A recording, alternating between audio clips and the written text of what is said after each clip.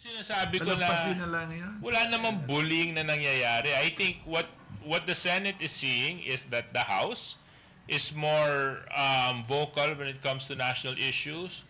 The the House is more vocal talking about issues close to their heart. The House uh, is reacting to um, what is happening in our country and in any democracy. That should be a welcome development if I mean to say to take things uh, lightly. So, uh, ako naman ang Valentine's wish ko uh, para kay Senator Nancy ay sana let love rule, Wow. 'di ba? So, kung mahalin na kung let love rule, mahalin natin yung bansang Pilipinas, bilisan nila yung pagpapapasa ng uh, uh, RBH 6 para magawa na namin sa House yung trabaho natin at maayos na natin tong saligang batas.